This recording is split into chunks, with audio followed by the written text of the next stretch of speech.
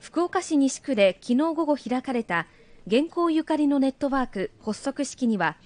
鎌倉時代の元寇にゆかりのある福岡市や鎌倉市長崎県松浦市など25の自治体が参加しました。ネットワークは元寇の歴史を国内外に PR し地域活性化を図ることなどを目指し文永の駅から750年の節目となる今年発足したものです。発足式では九州大学の佐伯浩二名誉教授が現行で活躍した鎌倉武士などに関する講演を行ったほか今後の事業計画などについて意見交換が行われました。現行ゆかりのネットワークは今後企画展などを開催する予定です。